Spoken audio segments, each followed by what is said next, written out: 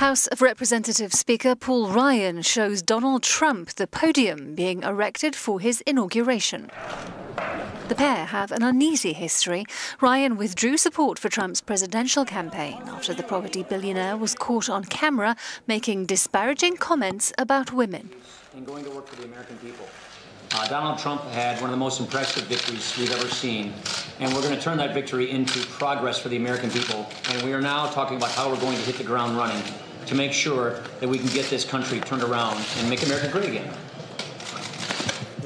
So uh, we had a very good meeting, a very detailed meeting, and we're going to lower taxes, as you know, and we're going to fix health care and make it more affordable and better. And we're going to do uh, a real job for the public, and that's what we want to do, and that's why we're excited.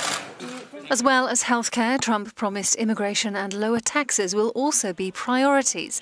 He pledged to do spectacular things for the American people. Thank you, everybody.